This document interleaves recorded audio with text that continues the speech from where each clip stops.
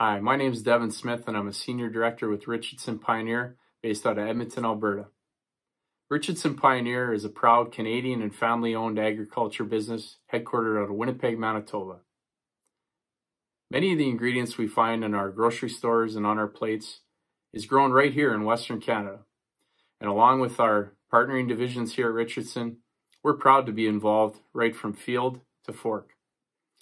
We start by sourcing and providing farmers with the products, tools, and services that they need to grow a crop in a safe and sustainable way. From there, we provide a route to market and a network of assets and logistics to help get our locally grown grains and oilseeds to not only markets here in Canada, but also markets worldwide. Our Canadian grains and oilseeds produced by our local growers and handled through the Canadian grain system is renowned for high quality and the ethical practices in which it's produced.